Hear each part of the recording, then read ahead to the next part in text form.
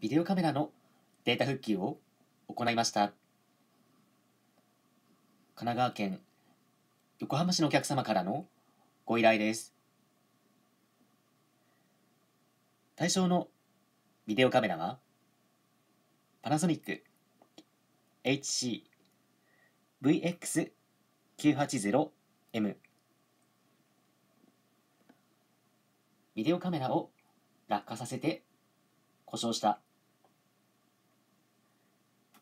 液晶画面に線が入り正常に映らず操作不能になっている。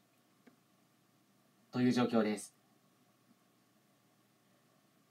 データ復旧処理を行い11時間19分の動画データ100%の復元に成功しました。